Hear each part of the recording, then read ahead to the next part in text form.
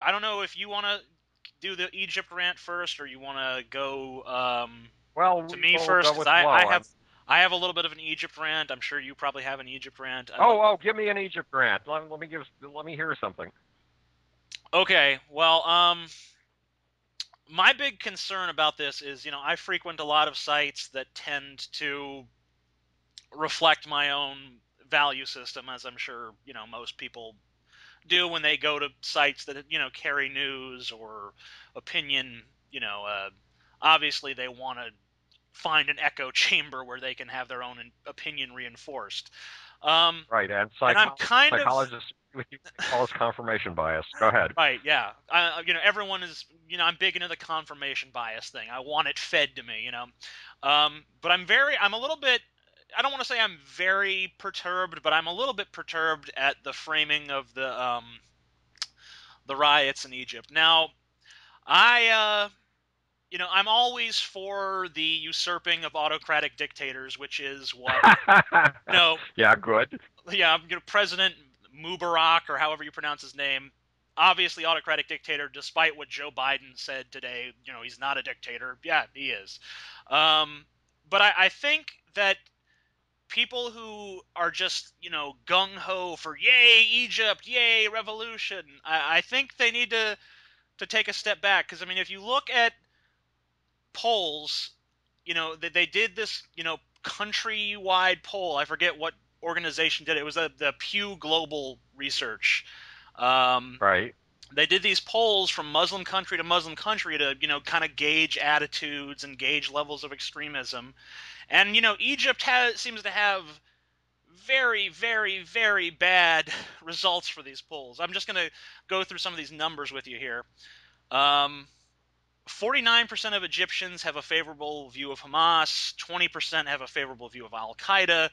Only 2% of Egyptians polled feel that Islam having a heavy influence on politics is a bad thing.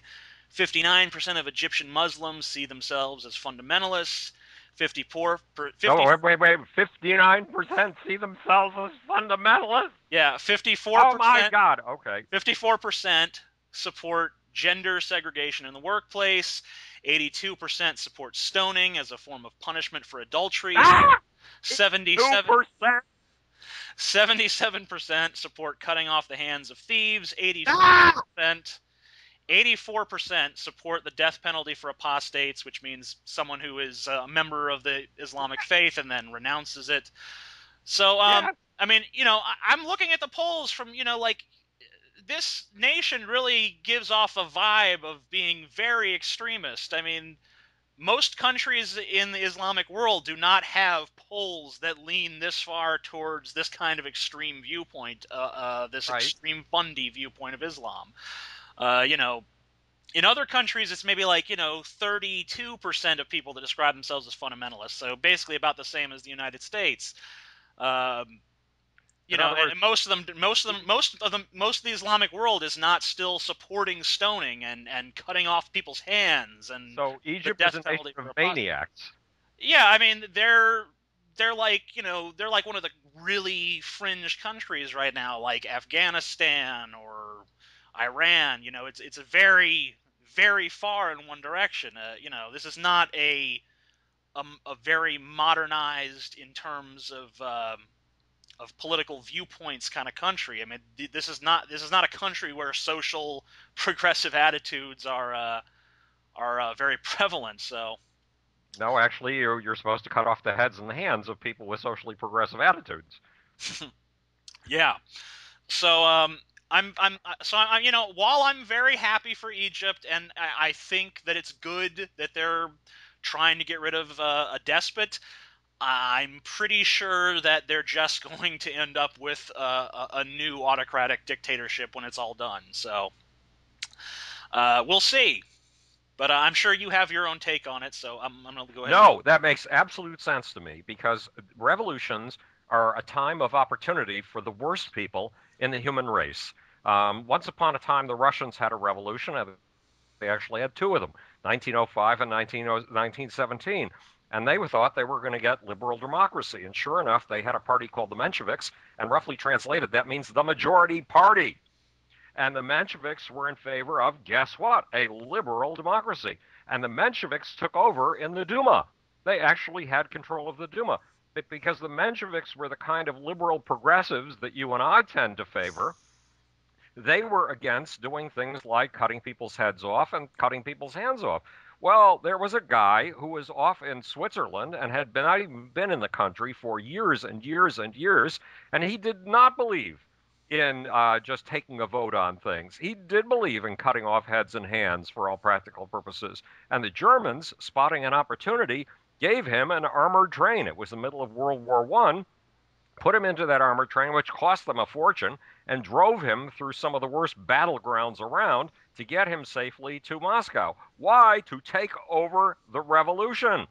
Why? Because having a man who would cut off heads and hands was very useful to the Germans. Why? Because the Russians were making war against the Germans.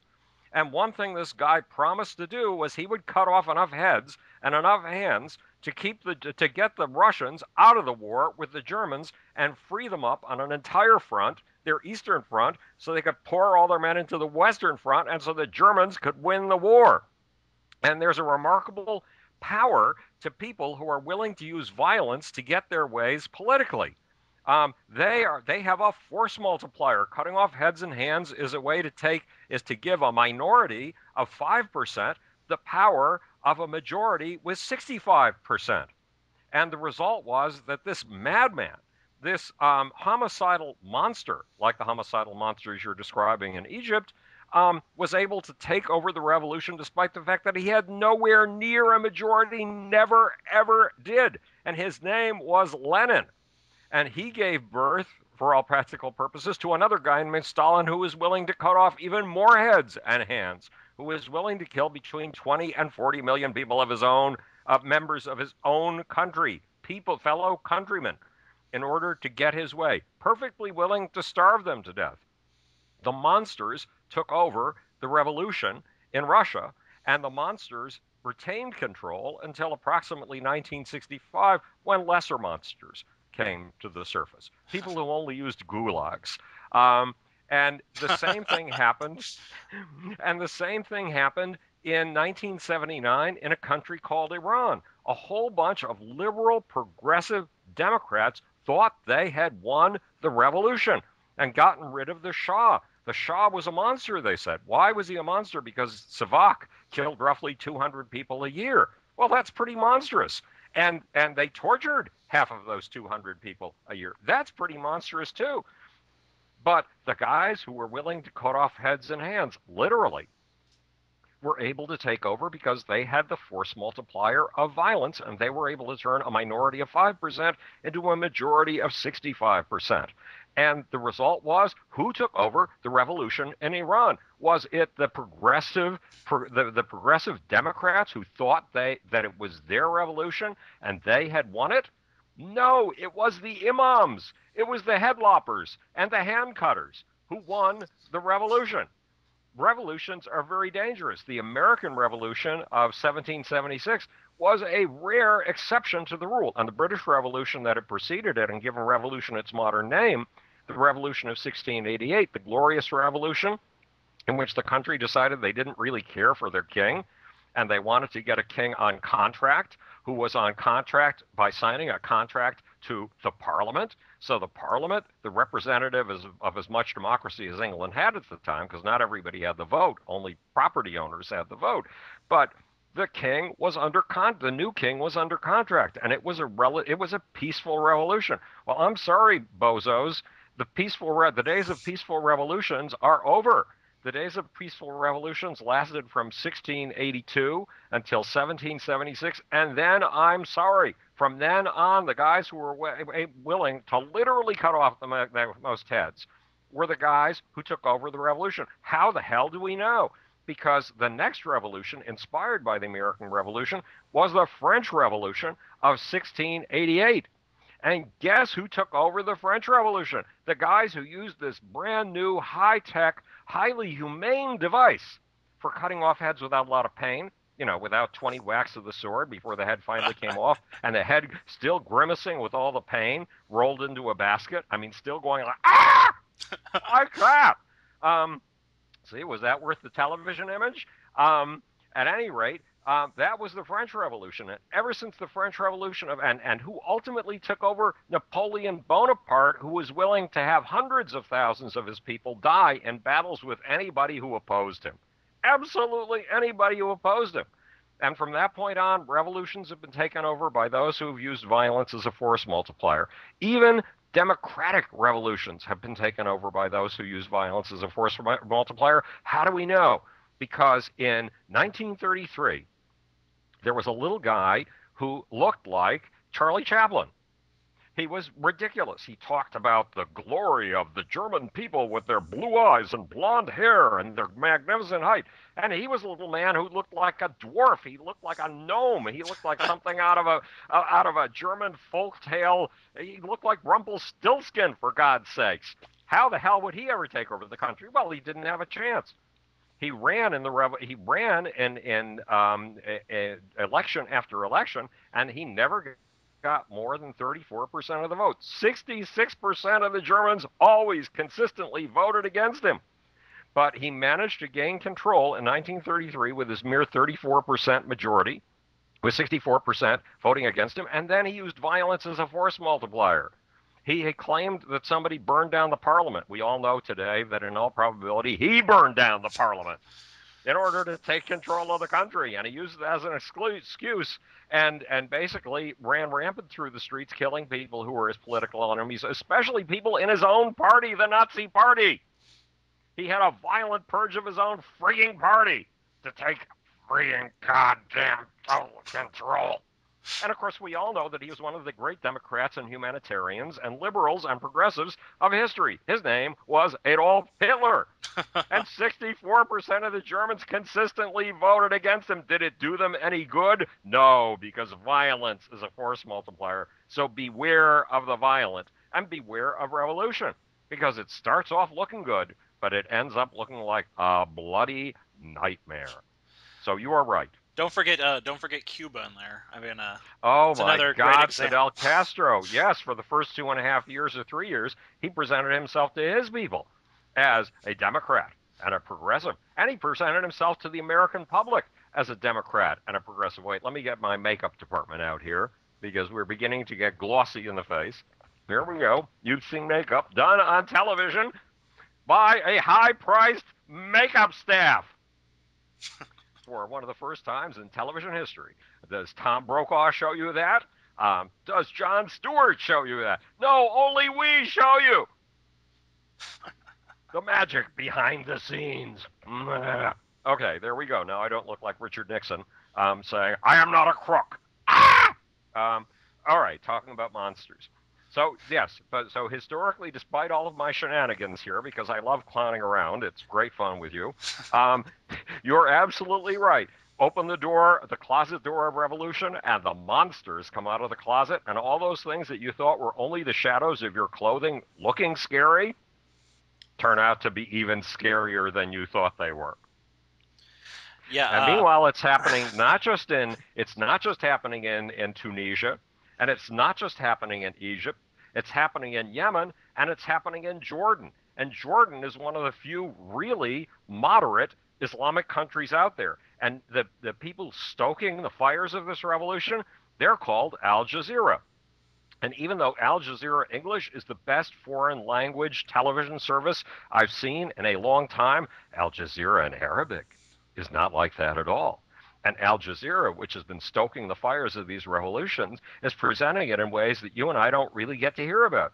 All of these revolutions are being presented as an Islamic response to throw off the shackles of American sponsored tyranny.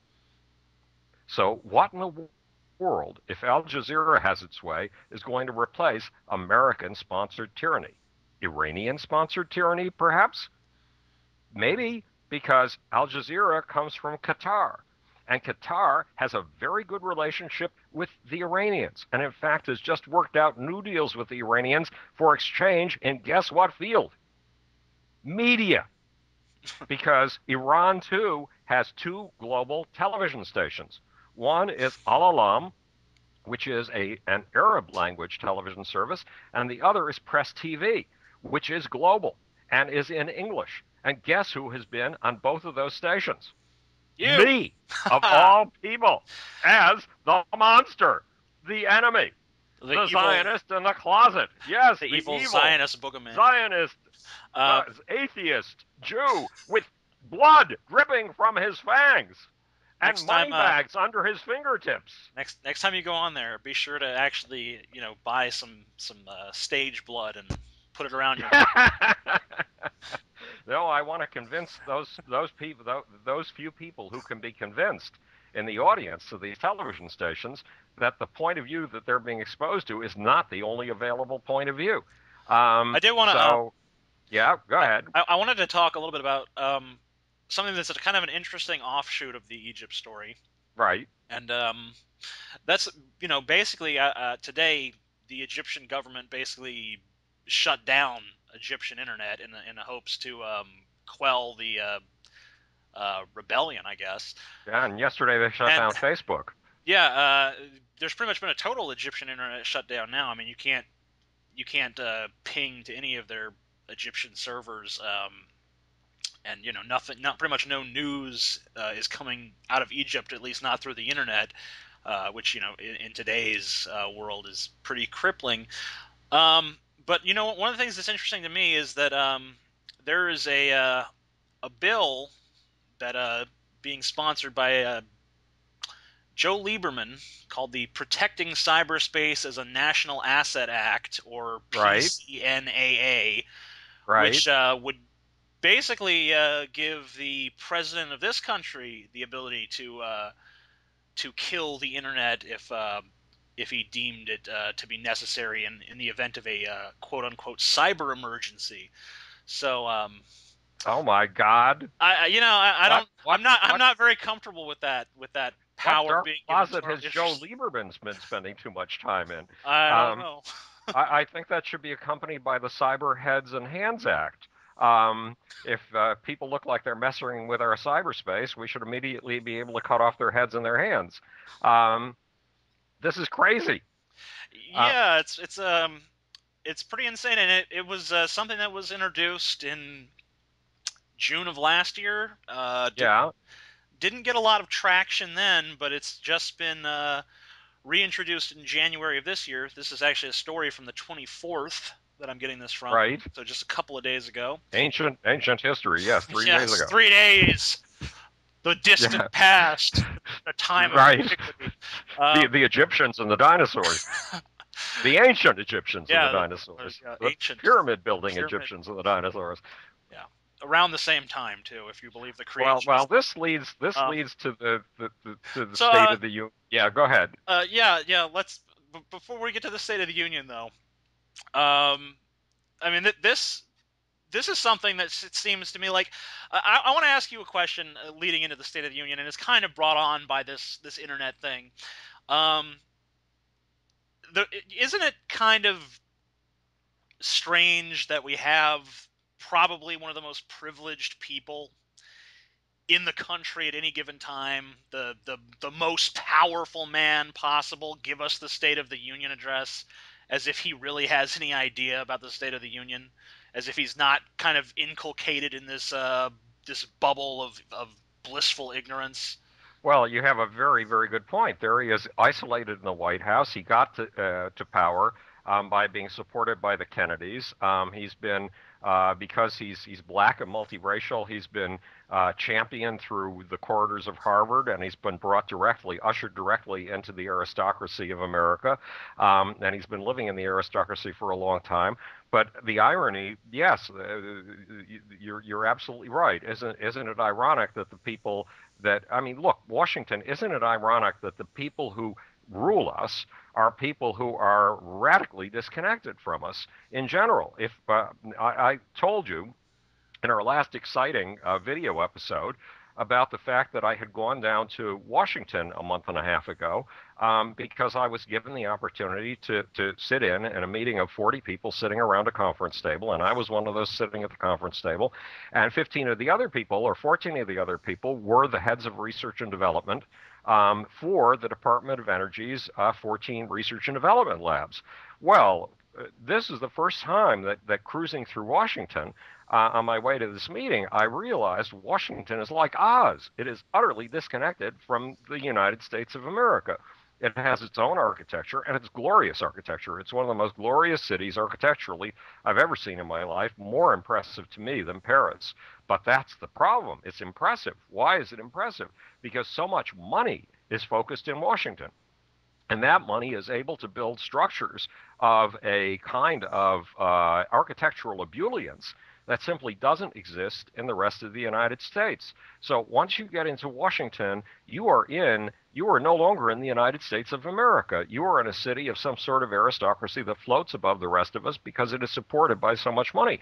I mean, I think I told you this figure, and uh, I have the figures only approximately right, but the magnitude of the differences um, are accurate. And that is that in 1800, which is a mere 210 years ago, not that long ago, um, in certainly by by contrast with the time back to the Egyptian pyramids. Um, so a mere 210 years ago, in 1800, guess how many people worked in the federal government of the United States? No 115. It was 115 you could you could bring all of them into a large ballroom and have them talk to each other and then have them go back to their offices the largest office the, the largest office in the United States of America, one of them, was the patent office. Of course, in those days, what we think of as the office hadn't been invented yet. The, the central file cabinet, which changed the face of things, had not been invented. So I think I told you this story, and stop me if I'm boring you. But the fact is that one of the biggest offices in the United States was the Patent Office. After all, America had been in operation for about 14 years since the Declaration of Independence, and we were already filing uh, more patents than just about any other country on the planet per capita. Well, guess what? The office of the uh, of the Patent Office looked like. Guess how many employees it had? Uh, seven. it had one. it had one. And do you know what this guy's job was? Okay, you, TJ, um, have just come up with a patent for God knows what, uh, electronic peanut butter or pre-electronic peanut butter. Okay, and you come to me. I'm in the patent office to file your patent. So you give me this piece of paper. Guess what I do with this piece of paper? There's no such thing as a Xerox machine. There's no such thing as a typewriter. There's certainly no such thing as a scanner. And I got to make a copy of your document. So well, how do I do it? I sit there and write down the whole document all over again on another piece of paper by hand with a quill pen, for God's sakes. Fun job. How's this for? Yeah, how's this for modernism? I mean, at least we've invented paper, and at least we've invented the pen, but that's about it. Um, so I take that piece of paper that I've copied and I roll it up in a little scroll, and then I wrap it in a ribbon, a red ribbon. And guess what we call that ribbon?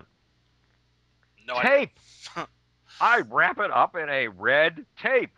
Of course, nobody's invented adhesive for this kind of tape yet. Nobody's invented the 3M, which invented Scotch tape, but won't exist for another God knows how many years. So I so I wrap it in a red ribbon, and guess how I file it?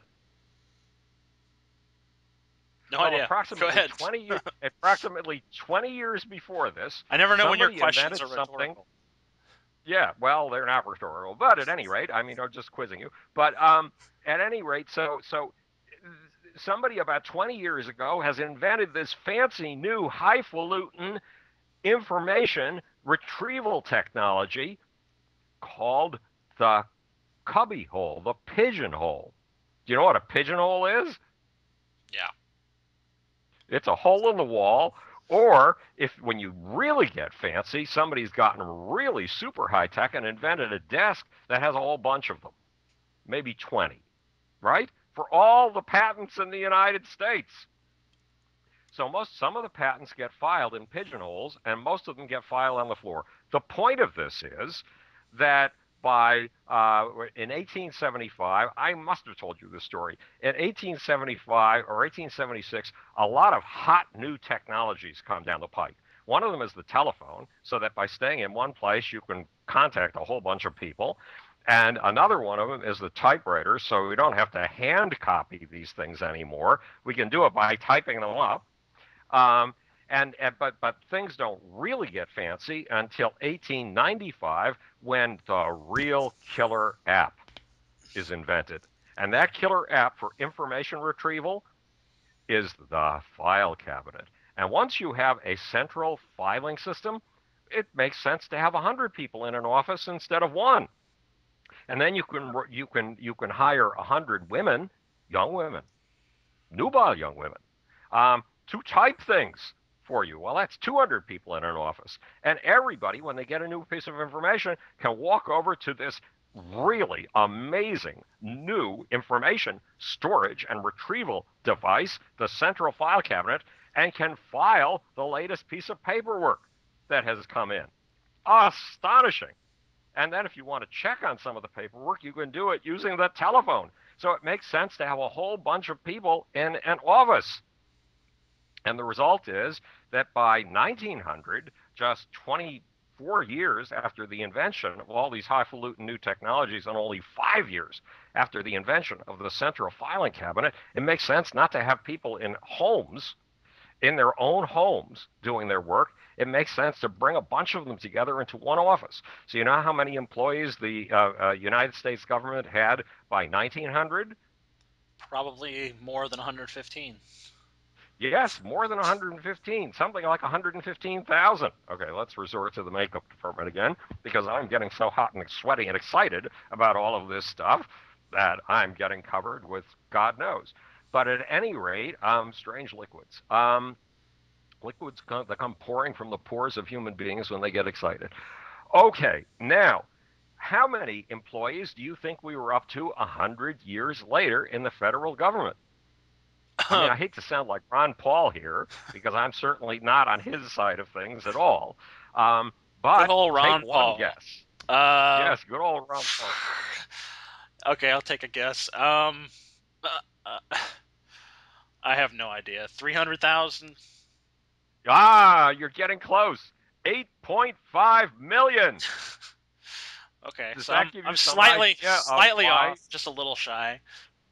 Uh, Right, and when you've got a whole bunch of mega corporations and all of them want special tax breaks written into the law of the United States of America, they all maintain um, armies of lobbyists to influence the people, and not only well the elected officials, but also the unelected officials, those other 8.5 million people who are federal employees, and when, so money comes flooding into Washington D.C. to influence the legislation that will that will uh, rule your life and mine. And the result, hey, so much money in Washington that they could afford to build buildings of a kind that is staggering to the eye. Even in the days, even in days like the, the last three years, the last two years since the great crash of 1980 or 2008, um, when the rest of the country has been staggering and, and, and suffering. Washington has not been staggering and suffering. So I hate to sound like a Republican making a case for small government here because I don't agree with these bozos. I mean, you know, these are the people of the big lie. Uh, I mean, we talked about Adolf Hitler and the fact that uh, for, uh, that violence is a force multiplier. We are very lucky. We have change in this country, radical change sometimes in this country, without cutting off a single head or slicing off a single hand, and without people dying in the streets we have it through democratic means. But the, the fact is that the Republicans are using another technique that came from Adolf Hitler. It's called the big lie. We talked, I think, in our last exciting TV episode about the fact that the Republicans have said over and over again in talking about what they call monstrously Obamacare. I mean, they, they, they, they bring up so many big lies in talking about what they call Obamacare, medical uh, uh, some sort of, uh, God knows, government sponsored program for making sure that all of us have access to medical care. Um, they they have said on television over and over again, especially the the master sleaze bucket. Um, um, what is his name? Uh, there there's there's Which Boehner, one? Who There's makes, so many. okay, there's there's Boehner who makes me sick. But then there's little what's his name who says that the entire purpose of the American um, government over the course of the next two years is to make sure that Obama is a one term president. Is that here we have a major economic crisis on our hands? Talk about and this is what he thinks is the major purpose of the American government? Give me a break. What is his name? The, the one in is the. It, is it Mitch McConnell you're talking about? Or? Mitch McConnell, the one who looks like a turtle, who has the face of a turtle, for God's sakes. Look at those lips. Can you trust a man whose lips are pursed like this always? Every single minute of the day? and who says that the whole purpose of the American government is to make sure that President Obama is a one-term president. Meantime, these little assholes, if you look, I mean, we're you know we're on YouTube, so we can afford to use words like assholes. These little assholes are using the big lie to the nth degree. They went on television over and over again and told us over the course of the last few months, we have the best healthcare system in the world. I was actually just watching a video today from a, a conservative YouTuber explaining why the uh, American pharmaceutical industry is uh, the greatest thing to ever happen. So. Okay, now I am a huge fan of the American pharmaceutical industry because you know that I spent 15 years in a fucking bed as a yeah. prisoner of well, a bedroom. Uh, maybe I should give and... some context on that. Uh, the thing was, okay. um, basically, uh, there was a YouTuber who posted a video about how a necessary life saving medicine uh, skyrocketed in price from being $50 uh, a month to being $600 a month. Uh, you know, not beyond his ability to afford, but perhaps beyond the ability of some people with a similar affliction. Like you and me. Yeah. Yes. So, um, you know, basically, this conservative YouTuber then made the response, uh, you know, basically like, uh, you know, yeah, that's bad, but you're lucky to live in America where, you know, such medicines exist because of our wonderful free market system and, and so on and so forth.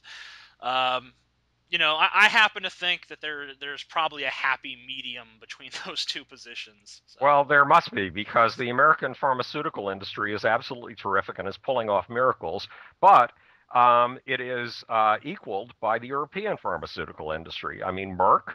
Um, well, I think Merck is in uh, is a New Jersey-based company, but most of the rest of them are are Swiss are Swiss owned um, and um, and just European owned in general. And quite in a, Europe, guess what kind of free too. market medical system they have? Any idea? Um, it's not not particularly free market. No, they don't have a free market medical system. They have a socialized medical system, and their pharmaceutical industry is every bit as inventive as ours. It, ours and, and theirs are the two biggest pharmaceutical systems in the world, and then running a close third is the Japanese. Um, I don't know what the Japanese healthcare system is like, but here's the deal: if we have the best system, uh, I know, I don't know, I don't know what their, I don't know what their regulations are as per the pharmaceutical industry, but I know that they have uh, a more progressive health system than the United States does. It's not, it's not market based, at least not uh, to the same extent as ours is. So. Right, the Japanese system. So, well, here's the deal. If we have the best medical system in the world, as John Boehner says repeatedly, and as Mitch McConnell, I'm well, sure, has said at one time or another. One, one thing I want to say, though, one thing I want to say, though, is, uh, is they now say, at least Sarah Palin now says that we used to have the best, but now we don't because of Obamacare. So. Well, we used to have the best once upon a time, a long, long time ago, but the, the quality of the American medical system has declined under uh, uh, Republicans like, um, uh, uh oh God, what was his Ronald Reagan. How could I block on that name? Like like Ronald Reagan and especially George Bush. But it really is nobody's fault. It is Ronald, not the fault of Ronald Reagan opposed Medicare, by the way. Yeah, well, but the fact is that 27 countries um, in 27 countries, people live longer than we do, and that was true before Obama was ever elected to the government. It was true under George Bush. Um, so they are lying when they say we have the best medical system in the world. We do not. We have a seriously flawed medical system, and we frankly do not know what the problem is. Plus, under George Bush, um, the uh, medical system went from uh, taking approximately 11% of our economy to taking approximately 17% of our economy. That is a big bite. um, the American automobile industry went to a position where it spent something like $2,400 on medical expenses and medical insurance for its employees for every automobile it built. That's one reason that Detroit could not compete, that Ford and Chrysler and General Motors could not compete with the Japanese because our medical system was costing $2,400 per car, and the Japanese medical system was apparently better and more efficient because the Japanese live longer than we do. And guess how much the Japanese spend on medical insurance per car? 400 frigging dollars.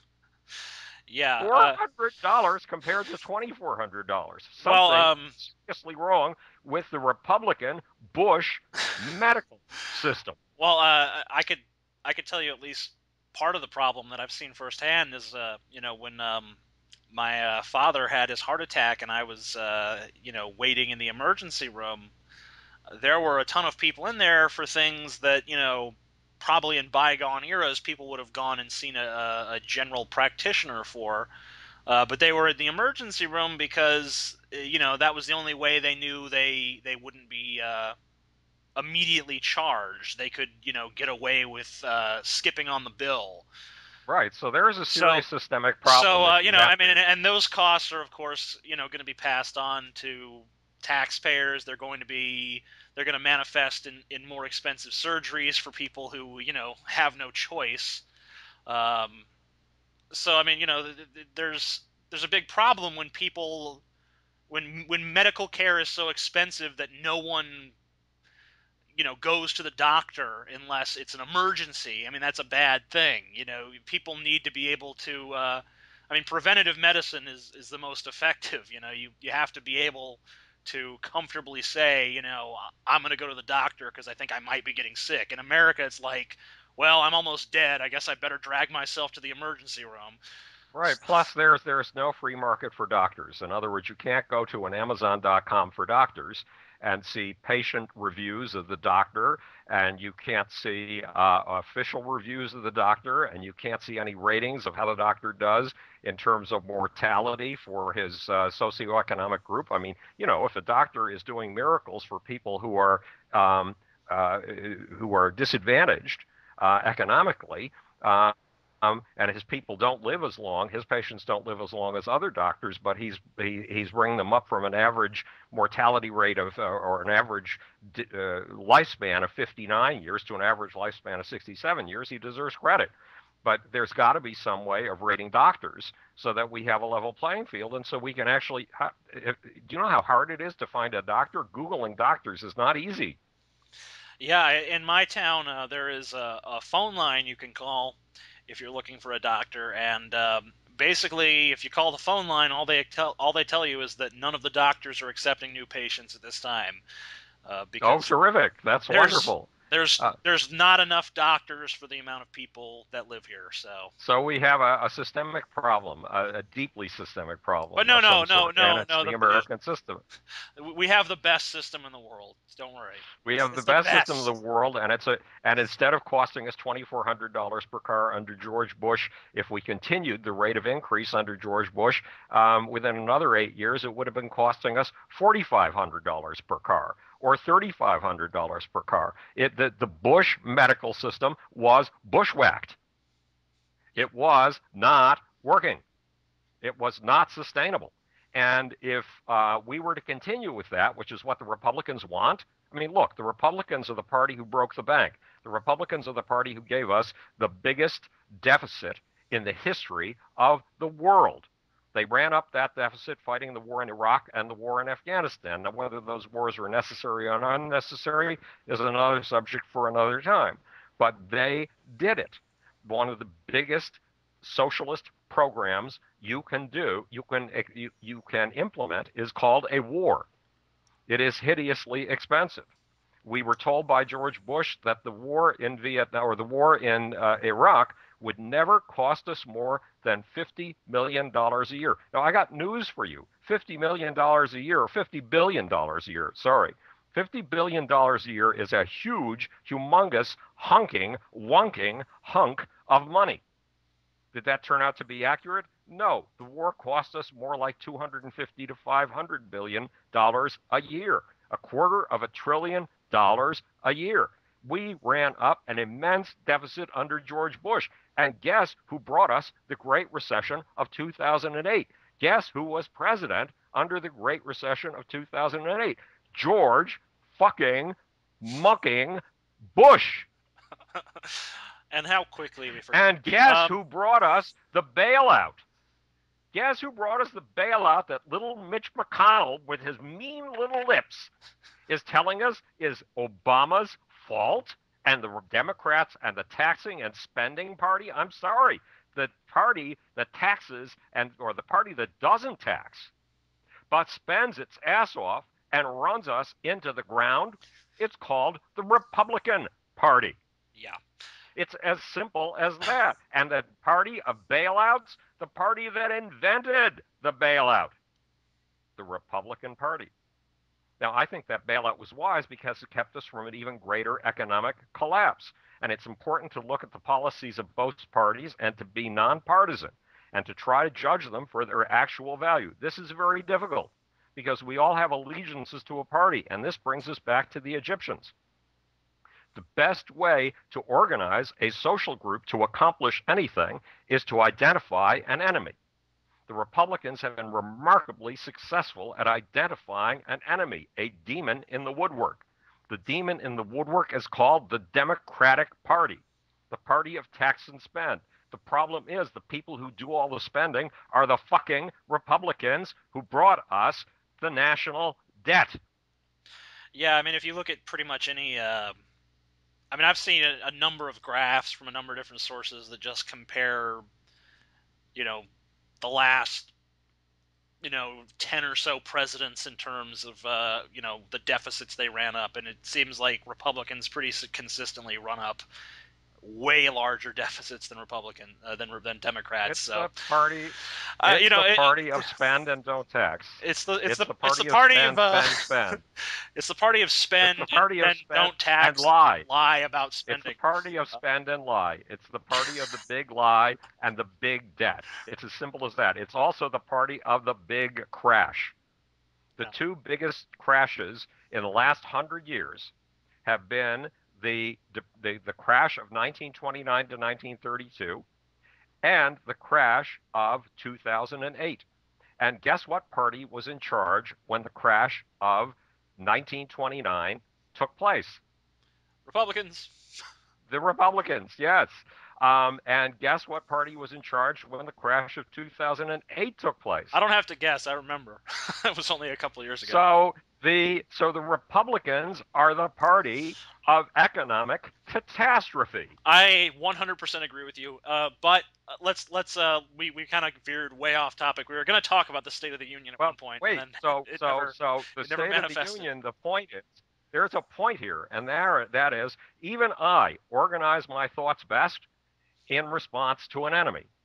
And that enemy for me is the Republicans because I'm a Democrat. But it is extremely important to step out of yourself to know that you organize best in the competition of one group against another group um, to recognize that you galvanize people best in the competition of one group uh, versus another group. But it's also important to realize that you are a political animal, that you are motivated by demonizing other people, and to step outside of your role as a political animal and look to see when a bastard like Mitch McConnell or a monster. I mean, actually, John Boehner, well, they're both, I don't know, to my mind, they're both monsters and demons.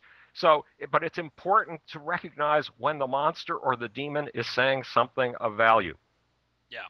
And uh, hold and on, hold Obama on one second. I'm, I'm that. have to, I okay. have to, I have to ex- excuse myself for one moment here. I'll be right okay. back. All right.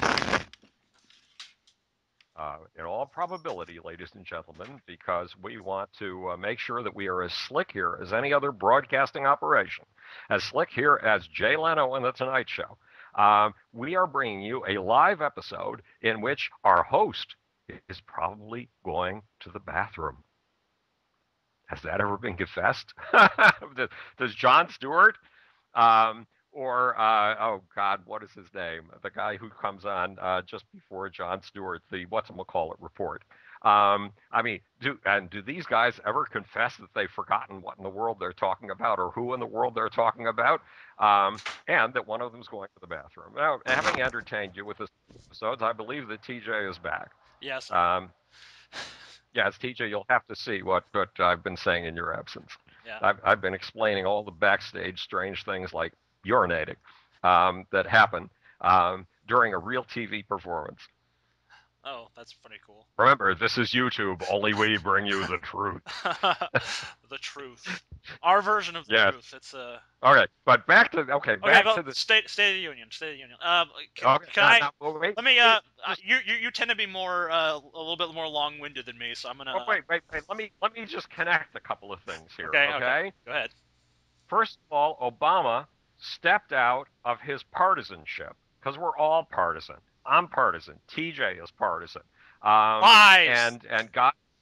and- And God knows Osama bin Laden is partisan, not to mention Mitch McConnell. I've always he stepped thought of, out of his of- part. of Osama as kind of a moderate, you know. So he seems Oh, a like he's, moderate. Well, he's, he's he's yes. willing to cross party lines and. Yes, that's true. Um. Uh, so, at any rate, now the point is that Obama stepped out of his partisan role and he adopted an idea from the opposition when it came to medical care. And he said, we have to do something about the outrageous amounts of money that doctors have to pay in liability insurance because of malpractice suits. Well, that is a point the other that the, the other side has been making. It was valid, and he deserves credit for stepping out and accepting the other point part of view, point of view for a second and a half. Something Mitch McConnell has sworn he will never in his lifetime do. Now, what does it have to do with the Egyptians and the Tunisians in the streets? They are organizing themselves based on their perception of an enemy, and um, Al, uh, Al Jazeera is trying to tell them that the enemy is America. And what they are doing is freeing themselves from American sponsored dictatorships, which to a certain extent, unfortunately, is true. Um, and uh, Osama is trying to tell them that they are organizing themselves against anybody who doesn't recognize that the only truth in the world is the kind of Islam that lops off heads, lops off hands, and blows up people in the streets on a daily basis. And every faction is trying to organize these Islamic people in the streets around an enemy. And of course, the enemy of choice is me. Why? Because I'm a Zionist, I'm a Jew, and I'm an atheist. yes. And Zionists, atheists, and Jews are the ultimate enemy. But so the real trick here is to, yes, organize around competition. And this is what Obama was trying to do in the State of the Union uh, speech. He said there is, we are having a Sputnik movement moment. What did he mean? We have a competitor. Um, and that competitor is, God knows what it is, but we have to operate as if we were competing just as we did in the days of the Cold War, which we've said in previous episodes was actually one of the longest pieces in the history of the world. 50 years of peace, small wars, not big wars. So the, the concept of organizing against an enemy is a necessity in the human emotional system. The trick is to organize the way we organize sports teams, to the way the Yankees compete against God knows who they compete against these days. I have no idea who sports teams are. Uh, the Angels. Um, So why don't you just stay away from the sports analogies? Yeah. but but the point is that in sports it works. In sports you can get your emotions out there to the nth degree in a competitive frenzy without killing anybody. And that's the real trick to get ourselves into a competitive frenzy so we get back into the ring and compete our asses off and continue to lead the world because I want us to lead the world for God's sakes. I don't want the Chinese with the fact with with, with uh, jailing somebody who disagrees with them to lead the world. Okay, that's the end of that speech. Well, uh, that actually kind of um, actually kind of brings up something else that uh, that I, I, I want to talk about. Um, I, I actually forgot until you were just talking about that because you know you're talking about you know um, the reason that America is successful is that at least usually we're able to solve these sort of disputes without violence. I mean, there, it's not 100% accurate. I mean, there have been little flare-ups here and there, but um, nothing you know comparable to something like what's happening in Egypt or uh, Tunisia or you know most of uh, what's happened when there's this sort of disagreement throughout human history. Um, Timothy McVeigh was the most violent we've gotten, and he was a real exception to the rule. Yeah, yeah, and um, but what I wanted to talk about was um, I, I know you're, you're you're certainly very aware that uh, the right wing uh, party in America, the Republican Party, has come under fire in the wake of um, the um, the Arizona the shooting, shooting Arizona, yeah, right. uh, you know, for Gabrielle Giffords, right? for the use of uh, a lot of violent rhetoric, and um, you know, I, I don't, I don't know how much I put stock into the idea that the violent rhetoric was in any way a direct effect on um, what happened, but I mean, it certainly made us stop and examine that for a minute. And it does, but you know, I mean, even before that, a lot of people on the left, a lot of progressives, kind of looking around and and you know, being very discomfortable, uncomfortable with the kind of uh, rhetoric they they kept hearing coming out of the right wing. You know, it, it's a lot of a lot of gun metaphors, a lot of talk about you know. Uh, Second Amendment remedies, and you know maybe a revolution is necessary. And I mean, just the other day, a Republican uh, by the name of Erick Erickson, who uh, is actually the CNN commentator, uh, editor in chief of uh, a blog called RedState.com, said that uh, you know if if um, uh, that maybe violent blood, maybe a bloodshed would be necessary if um, if we couldn't get Roe v. Wade overturned. So they're still Oh my God! yeah, Ah, still using the violent rhetoric, and you know, it, it, it. I mean, like, you know, you can find leftists who use this kind of language, but you can't really find them in mainstream political positions. I mean, you know, Michael Moore is never going to be like, we need to chop off Glenn Beck's head, you know, but Glenn Beck has Right. talked about killing Michael Moore and how much he would enjoy it. So, I mean, there's there's a, a big discrepancy. I, I don't know.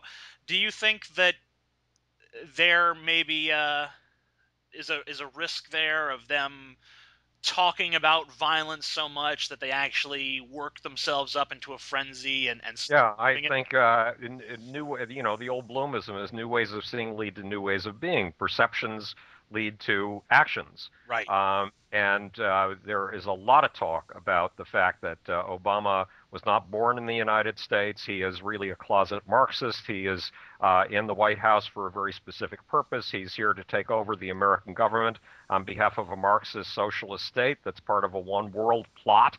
Um, to take over, to, to you know, snuff out American freedoms totally, and uh, that uh, Obama, the the uh, indication and the words are that Obama is a traitor, um, that he is a foreign agent. Um, and when you start using terminology like this, yes, you, you get people more and more riled up until violence seems to be the only rational thing to do. And you have to be aware of that kind of thing. And we have to be aware of it on our side. I mean, remember, once upon a time, our side and the progressives and the parents of today's progressives and the grandparents of today's, today's progressives were Marxists. Once upon a time, they were many of them were Stalinists. Once upon a time, they really were in favor of a violent revolution in the United States. So we have to watch out for violent rhetoric on both sides. And one of the things that bothered me, TJ, is that when the shooting took place, first of all, I watched the video that was made by the shooter, and it was not. Uh, he was not inspired by right wing rhetoric, and he was not inspired by left wing rhetoric. If anything, if he was inspired by anybody, it was by the post structuralists. It was by people like French philosophers like Baudrillard, who said you could be controlled through your language, you could be controlled through the way people set up paragraph structure. But remember, this guy was not on planet Earth. This guy was in a serious delusional state. And I don't know if you've ever been with people who are in a delusional state. I've been with them three times. It is unlike anything you've ever seen in your life. These people are not on planet Earth. You they they think they can walk off the roof of a building and they won't fall. They'll just go in a straight line. Why? Because God's hands will be under them.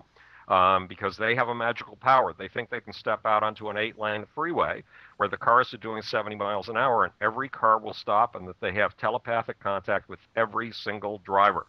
Now, it'll only take a few seconds out on that freeway for them to learn that they're not quite correct.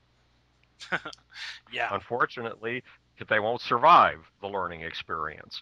Um, so you have to take people like this and get them out of the way as rapidly as possible because they could either be dangerous to themselves or dangerous to other people, as the shooter turned out to be. So neither the left nor the right had anything to do with the shooting. But you are well, right. Well, you know, let let's just say, you know, even if we go with the the you know he's just crazy, he's in a delusional state. I mean, doesn't some of the blame then have to fall on Ronald Reagan for defunding mental health programs in America and basically setting the lunatics free out of the asylums? I mean, and they were originally um, uh, uh, the, the, movement to begin the expulsion of uh, those who were insane from lunatic asylums began under us leftists in the 1960s when we watched uh, read books and watched movies like One Flew Over the Cuckoo's Nest and came to the crazy conclusion that crazy people are really saner than you and I, and that was a big mistake.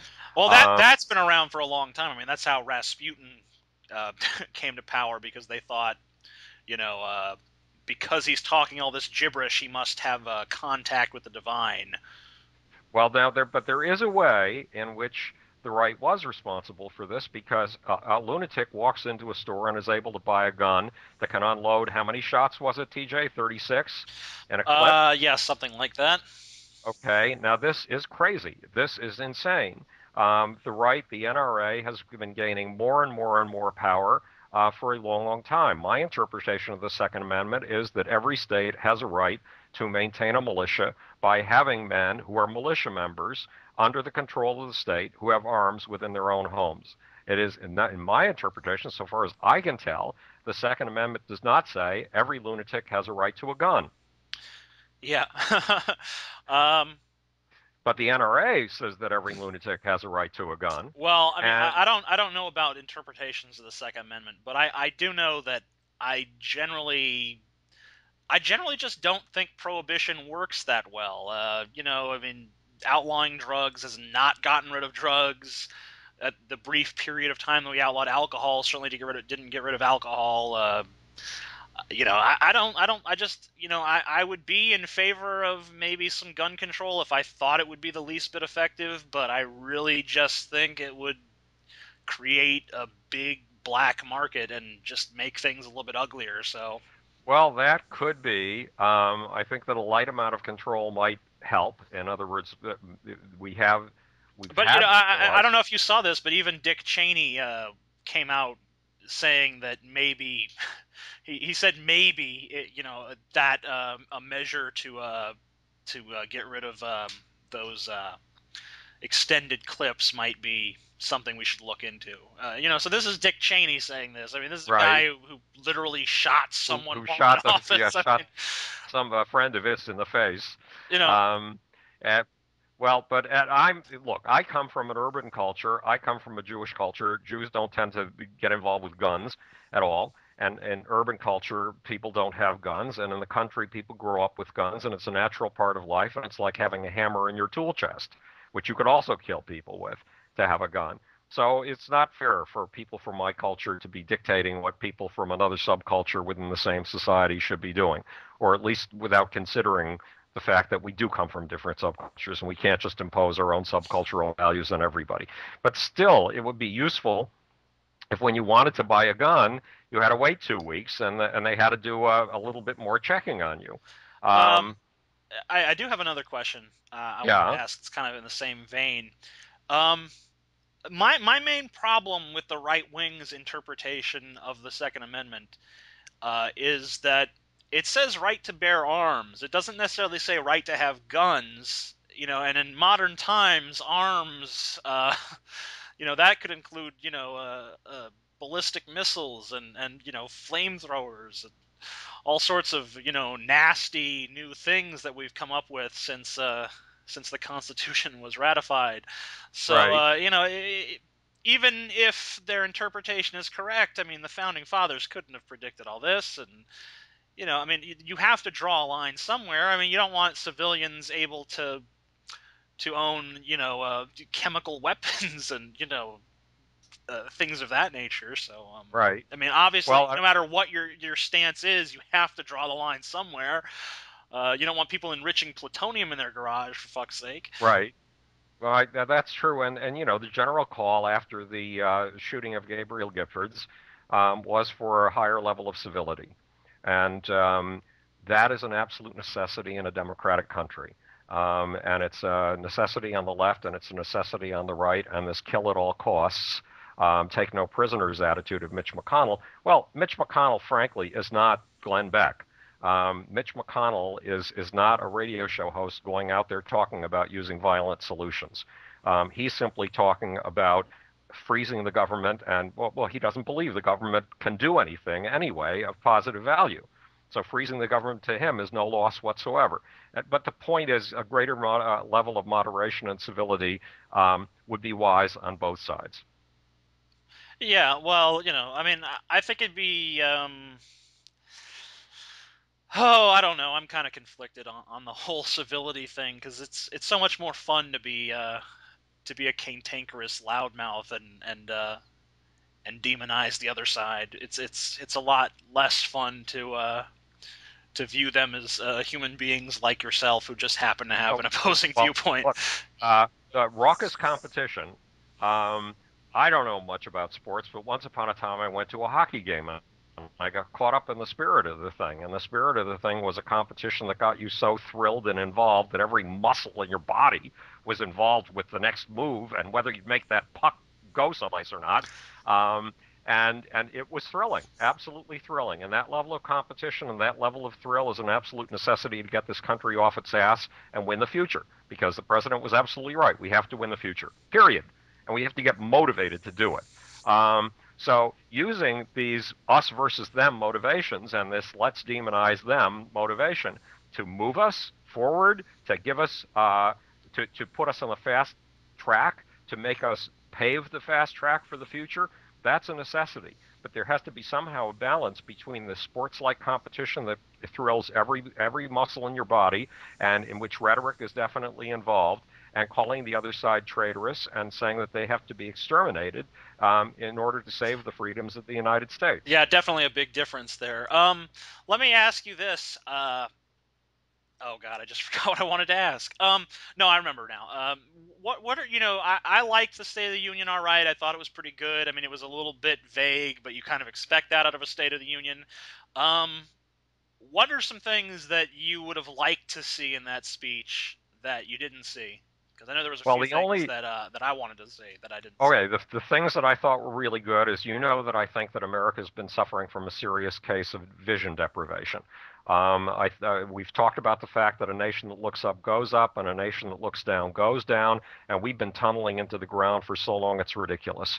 And um, this speech gave us a sense of a future. This gave us a sense of looking up. This sense, this speech gave us a sense of uh, the guy in uh, who, who started the drilling company that had uh, new high technologies for drilling and was able to help save the um, miners in Chile, and who said that I may be a small company, but I can do big things.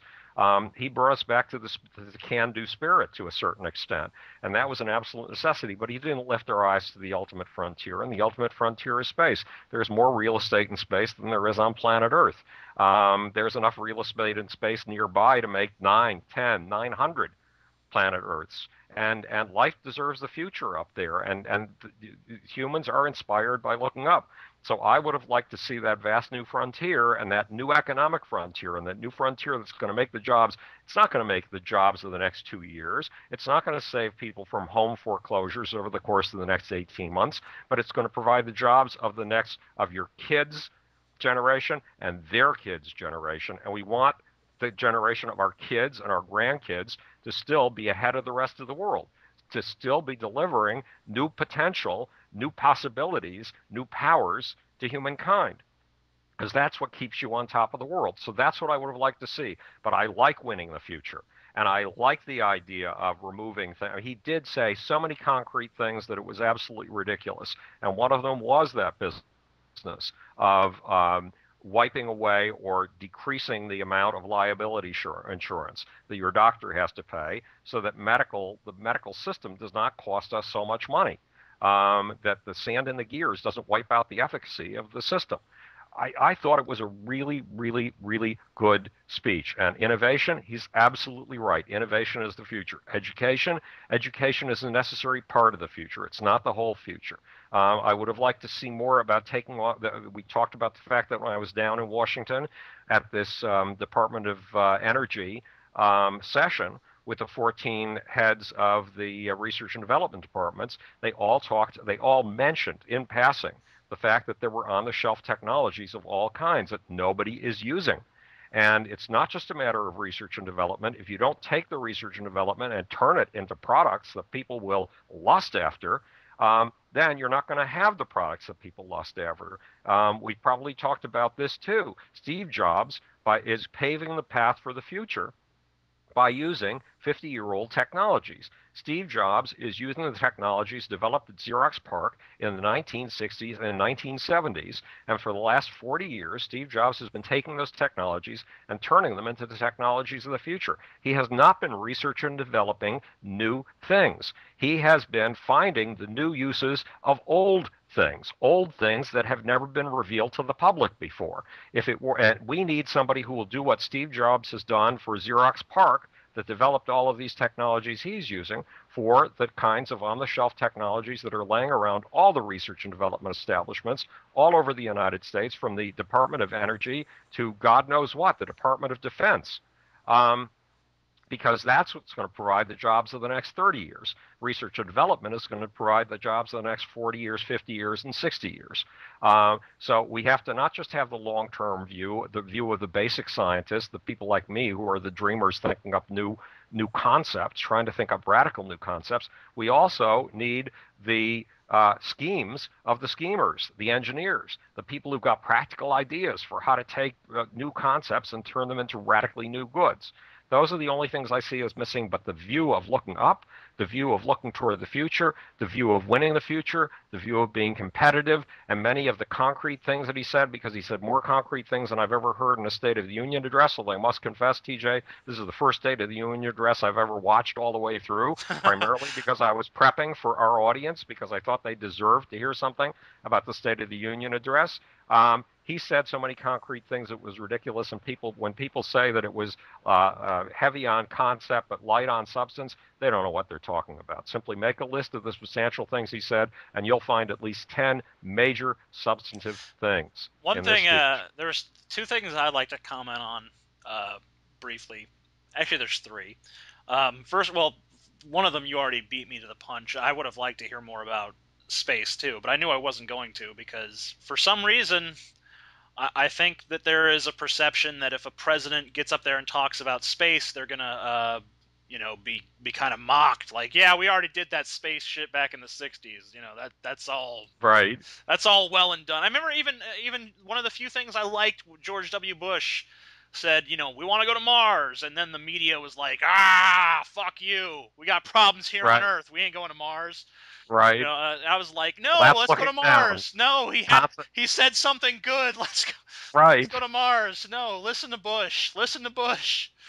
I was like, oh no, the one thing I agree with him on. Um, but uh, the other thing I want to talk about, and I'm I'm surprised you didn't mention it because I know you you you really really really want uh, America to be more competitive with China. Was uh, he did talk about uh, about China and a few of the ways that they've kind of creeped ahead of us lately, and you know we better you know, it's our Sputnik moment. We better, you know, uh, we better start innovating. Better start trying to go after those Chinese and uh, and try to, you know, beat them in the new global economy. Uh, I was pretty happy with that. But uh, one thing that he mentioned that you know has kind of a, a, a dark flip side was he talked about the um, the people he talked about you know how america has some of the best universities and so many people come here to get their education. Ah uh, yes uh, he talked about letting all those brains go to waste and go back to their own country yeah you know the, the, that's a huge problem. we got you know I, I, think i read somewhere something like 70% of people who get their you know these these really i don't remember what specific degree it was but they're getting these really you know they're they're coming uh, to America to I, okay I remember what the statistic was. 70% of the people who come here from foreign countries to get their degrees go back to their foreign countries and start innovating over there not over here. Exactly. You know you got to they want to stay here and they're not able to get visas. Keep them here. you know if someone has a, a, a, high level degree in something like engineering or something keep them in the United States please. Don't let them go well, back as long ago as 10 years ago, America only had, and this is pathetic, um, 360 PhD graduates um, each year in advanced mathematics. And advanced mathematics, even though I don't understand it that well, um, uh, is is extremely important to research and development, to innovation. Um, and guess what percentage of that 360 was American born? Uh, Forty percent. Sixty percent was foreign born, and we won't give these people visas. Yeah. How many people leave us with per year that are American born in advanced mathematics? 150? Is that enough to run a country? Uh, probably not. Don't yeah, don't we want to keep these other people who are better at it than we are? And the thing that another thing that um, Obama didn't mention is the Chinese have a work ethic that makes ours look pathetic. We are one of the hardest working countries. We are the hardest working country in the West. We outwork the Europeans. But the fact is, the Chinese are willing to work a school kid in China. Will start school at something like 7 in the morning and finish at midnight. How he gets any sleep, God alone knows. And he always has the sense that he's not doing well enough because the expectations his parents have for him are extraordinarily high. What do we do in the United States? Did I ever tell you about my time at the Graduate School of Education doing research when I was a kid, when I was uh, 19 years old and 20 years old? The Graduate School of Education at Rutgers University in New Brunswick, New Jersey. Rutgers is one of the best universities in the country. And there I was. I hadn't even gone to my freshman year of college yet. For some reason, the, the guy who ran the uh, Graduate uh, School of Education, Rutgers University, let me into Rutgers University to do research of all things. And I discovered how the American education system was being gutted from the inside. It was being gutted, gutted by the guys who were running the education department who were being extraordinarily nice to me. Extraordinarily nice to me, but vicious to the American educational system in because they were idealists, because they wanted to save American kids. They knew that one thing was more important to the psyche of a child than anything else, his self-image. And they felt the entire educational system we should drop this whole notion of giving kids facts. They literally felt we should drop the whole notion of giving kids facts. They didn't need them. Yeah. They didn't need them. What did they need? A positive self image. Well, these people from the 1960s, because this was 1963 and 1964, were very successful in their quest. And they turned the American educational system to a certain extent into a therapeutic system instead of an, uh, an educational system. And the result was that by um, the 1990s, um, the leading cross cultural journal revealed something terrible. It revealed the fact that American kids had a very, very high self image, even when they were doing extremely poorly. Meanwhile, Korean and Chinese kids had a very low self image, and Japanese kids. Do you know why they had a very low self image? Um, because they're pretty much told constantly that they're not doing well enough. you know, they're yeah, pressured to be number one, is, number one. You must be the best. And, and, and the result is that when they're doing what we consider A level work in the United States, they think they're doing C level work. So they work harder and harder and do A plus and A plus plus and A plus plus level. Well, guess who's going to win in the international competition, which is constantly occurring? Um, of the next 20 and 30 years, not to mention the next two years, not to mention the past 10 years. The kids who think they're not doing well enough, who've grown up to be adults and are still striving to get higher and higher, no matter how high they go, uh, they go. And those who pat themselves on the back and when they do a mediocre job think that they've done wonderfully, they're not going to succeed. I mean, how would a hockey team do if its players felt that they were doing wonderfully, even if they hadn't learned to skate? like on the ice. I, have I've, I'm, I'm, I'm, very fond of some of your analogies. I think that's probably one of the, one of your better ones. Um, I, that was actually that was actually mentioned on Real Time with uh, with Bill Maher the other night. Um, last Friday, not like, Friday. They, Bill Maher was lamenting the fact that we have uh, these kids that have tremendously high self-esteem and then uh, you know not they don't have anything to back it up. They're very pleased with themselves for no particular reason. Um, right. you know i, I, I don't know if i i don't know if i would advocate yeah. us switching to the uh, the asian uh, parenting slash school model of constantly demanding perfection but uh, i do think we could we could probably do a little bit better than what we're doing now. I i mean uh I'm just I'm just remembering my own school days, and uh, you know I'm sure we're we're polar opposites in terms of how we interacted with our school environments because uh, I didn't do so well. But um, Oh, well, wait, let me tell you something. Here I am advocating giving our kids a serious push, um, demanding of them excellence, really demanding outstanding performance of them, demanding that they get better and better and better at whatever they do. And yet, in a funny way, I was worse than you were in school because I never paid attention once. Once I got at the hang of it, look, I, I had a terrible time when I when I was in first grade. I was incredibly incompetent at doing the simple paperwork you're supposed to do on your desk. You know, sim- fill out these simple things and then hand them up to the teacher, and she gives a star to the first kid who finishes. And I was always the very, very last kid who finished anything. Yeah. And the one day, I probably told you the story, the one day that I wasn't absolutely last, so far behind everybody else, they all had to wait for me. Um, I was second last. Instead of giving the gold star to the kid who came in first, which was the standard procedure, the teacher gave me the gold star for coming in second last instead of last. So I was horrible in school. And then, and I didn't learn to read and write until I was in second and third grade. But once I got the hang of reading in the year between my third grade and fourth grade, and the summer between third grade and fourth grade, I got obsessed. These books were incredible. They were absolutely fascinating, these things called books. And once I got the hang of it, I started reading first one book a day and then two books a day. Well, guess how much time that gave me to pay attention to the teacher? Because uh, the only way to read two books a day was to read under the desk from the time you got into school in the morning until the time you left at 3.30 or 4 o'clock in the afternoon. Yeah. So guess how much attention I paid to teachers? Zero. None. Absolutely. That's uh, yes, I, I, I was I was wrong. Our our childhoods were pretty much exactly alike, except yeah, I wasn't I, I, I wasn't reading as much. I was I was I was writing more bad poetry and reading not quite as much. But you know, other than that, very similar. right. So there is a case to be made here for self-education there is a case to be made here for what in science is called curiosity driven education.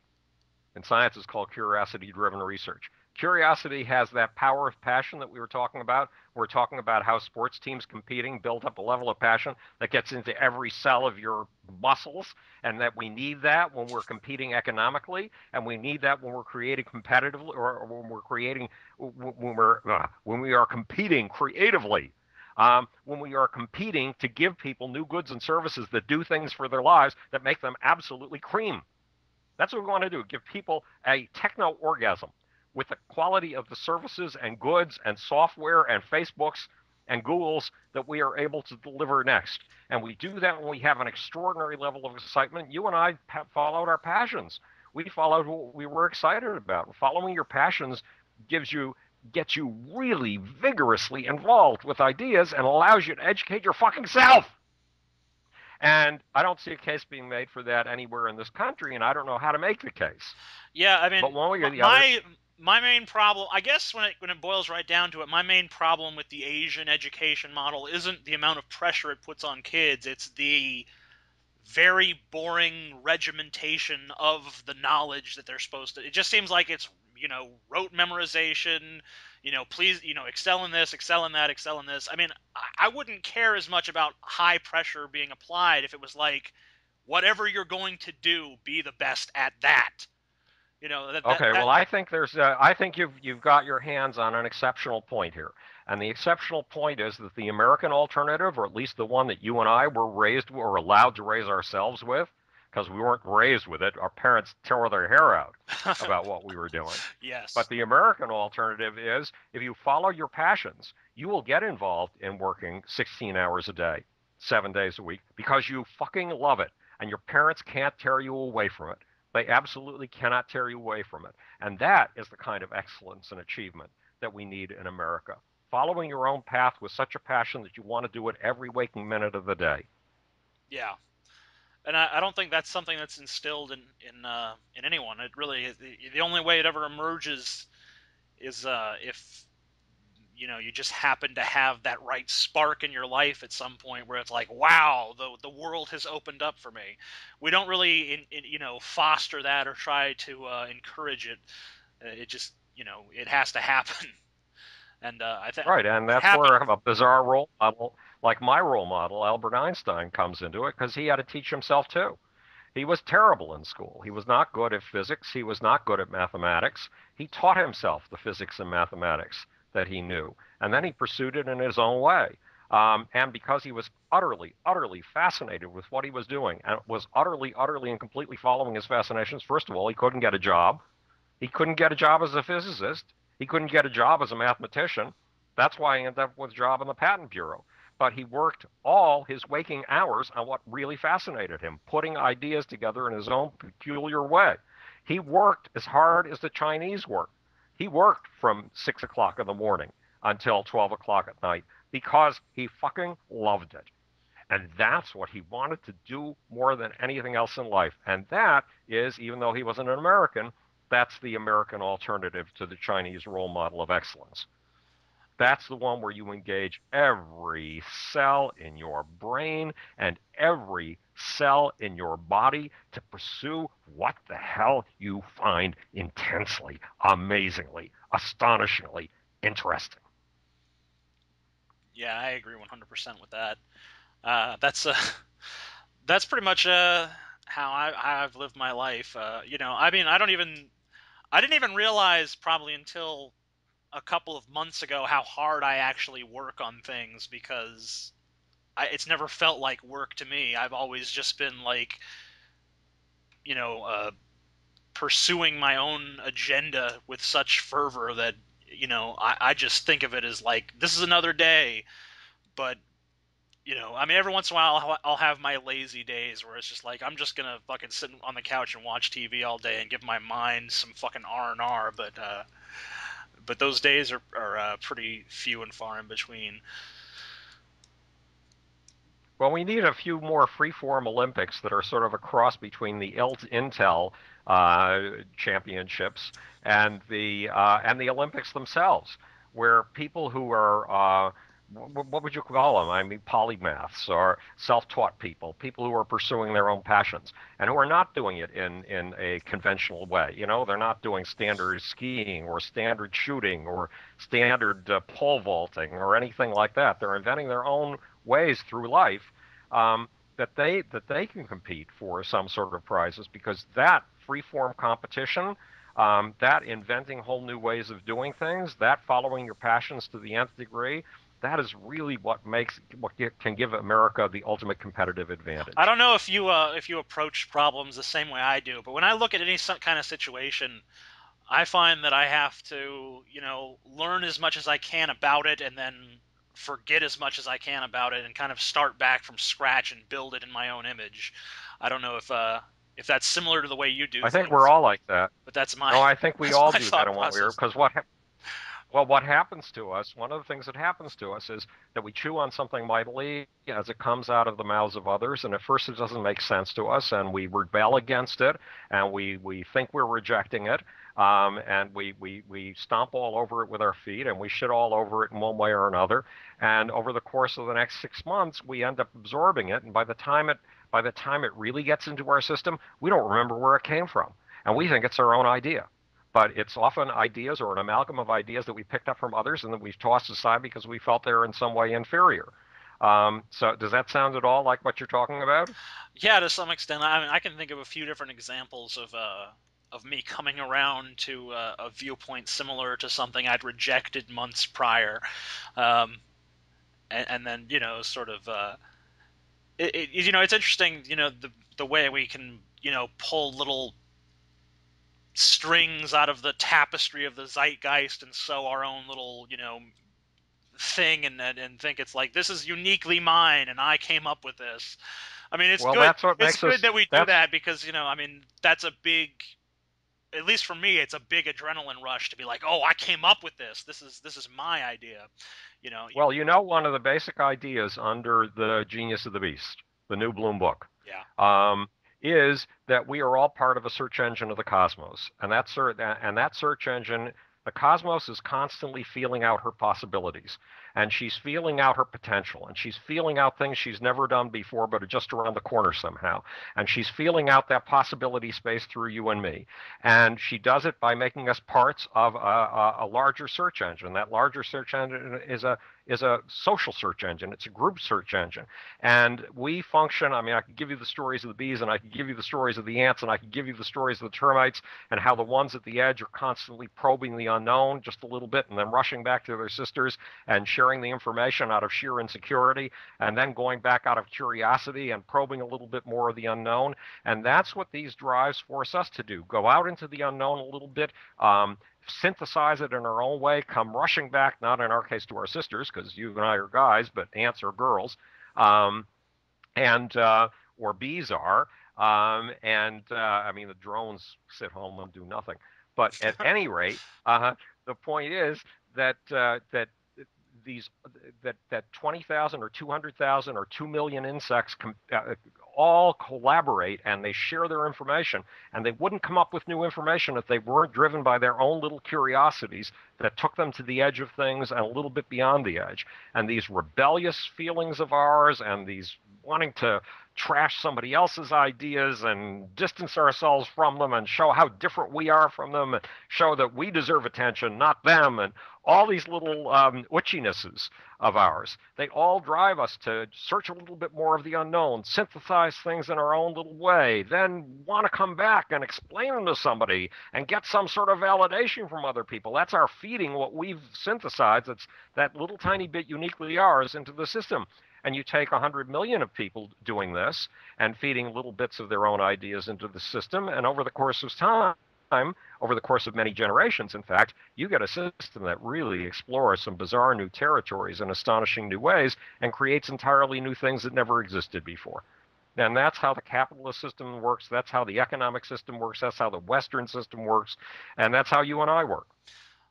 Speaking of um, of economics here, um, I, I, was uh, I was kind of thinking about the uh, the genius of the beast actually earlier today, and um, I was thinking about how, you know, really to to have a, a a good understanding of economics, and and I think a lot of people when they think of economics today, they get a little bit bogged down in in finance and kind of you know limit it there and just say oh that's that's economics. It's all finance. It's all something that people on wall street do and that really doesn't have much to do with me.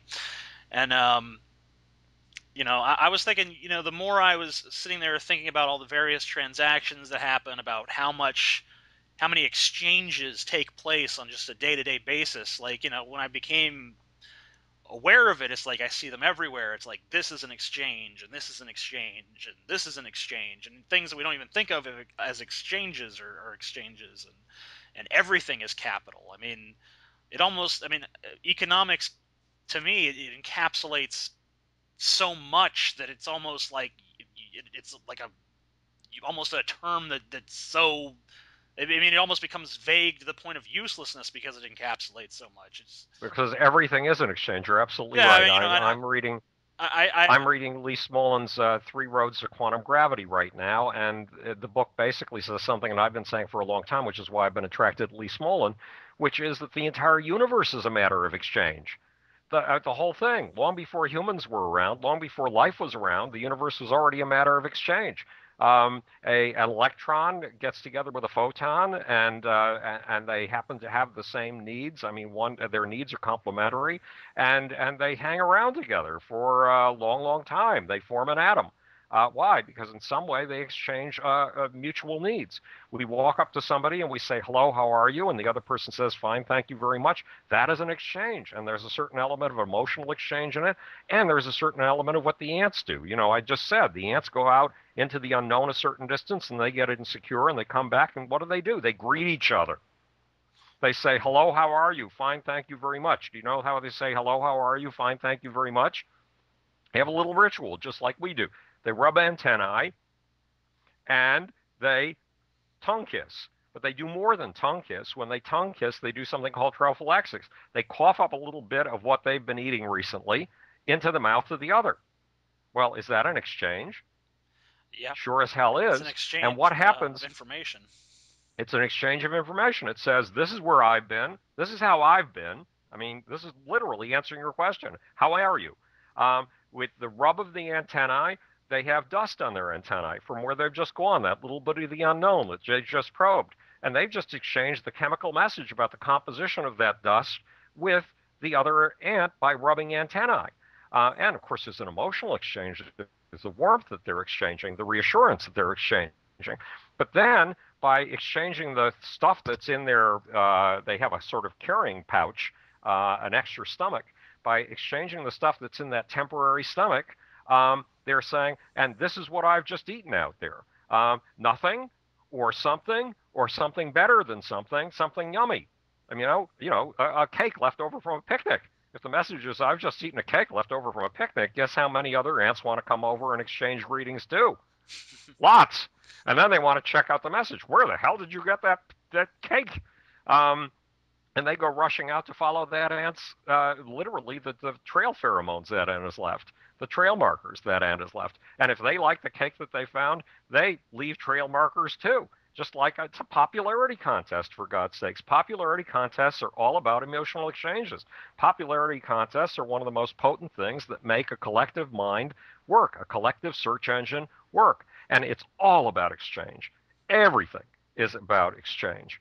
So you're right. We go through exchanges all the time. We call what what's another word for, for exchange? Trade. Huh? Trade? Isn't that the stuff they do on Wall Street? Hell yes. That's the stuff they do on Wall Street. You and I do it every frigging day. Every time we call somebody and say, "Oh my God, I just had this fight with my girlfriend, and what the hell am I supposed to do?" You're offering a certain amount of information that's titillating to the other person, and the other person in exchange is going to give you a certain amount of information that's going to calm you down and make you feel a little better about yourself. Ah, um, she doesn't understand. You need some control. She's a control freak, for God's sakes. Tell her to give you tell her to give you some space. Okay, that's a useful bit of reassurance, even though you've heard the phrases a million times and could have said them to yourself. Coming from another person, they mean something they didn't mean if you were just rumbling them around in your own head. They mean, oh, it's okay to feel this way. Yeah. And and it's okay is a big thing the other person is giving you. Exchange. It's all about exchange. Yeah, I, I, I find it all very fascinating. I, I love, um, you know, I, I was just thinking today about the um, about clothing and how people uh, advertise things about their personality and uh, ah yes the identity uh, business and, and identity tools as they're called in the genius of the beast yeah i mean it's it's just i, I love everything that uh that goes into that. I, I, I love that there's someone making money off of that. I love that there's there's people out there who are communicating various things about themselves, like I'm part of this group and I have uh, this sort of personality. You know, like I mean, I can look at someone and I can judge by their clothing. You know, okay, this guy is like an overbearing, belligerent jackass, and he wants me to know that. You know, uh, or you know this is a, a very subdued person who is you know very serious minded because you know you could you could tell that sort of thing. I mean, you can't tell shit from the way I dress because at my size, you know, six six, whatever, I have to just wear whatever the fuck fits. But, uh, but uh, you know, whatever tent you can crawl into. Yeah, what, whatever, uh, whatever circus tent I can, you know, uh, cut some sleeves in, right? And uh, you know, but other people who can choose their clothing with a little bit more uh, people have a little bit more options than I do. You can you can tell a lot uh, by what they're wearing, and they want well to to read more about to read more about everything that TJ is talking about now. Um, run right out and buy 17 copies of The Genius of the Beast, a radical revision of capitalism by Howard Bloom. Uh, this, by the way, was a subliminal message. You never heard it. That's great. I like that. They could read your other books too. I mean, I think there's plenty of information about that sort of stuff. Uh, actually, oh yes, there is. There's tons. Because uh, well, I find probably uh, fascinating too. Probably, um, uh, what was the oh god, I, I uh, global brain would be a, a, probably even better for that. Um, although I don't know if it, it it doesn't use the term identity tools though. I don't think. But you know, there's no identity. You know, why do you always reinvent your terminology for every book? It's like you know. Well, you know, I wonder that too, TJ. You know, I wonder whether I'm being absolutely insane. Wouldn't it be better uh, if I just repeated the same terminology over and over and over again and established a brand and left a mark in people's brains and banged it in as hard as possible so that by the time I croak, um, it is stuck in their brains indelibly? But um, I keep reinventing the terminology because I keep rolling over the meanings and finding different facets of similar things. So I don't know whether it works. You'd have to tell me whether it works or not, uh, or whether it's just irritating.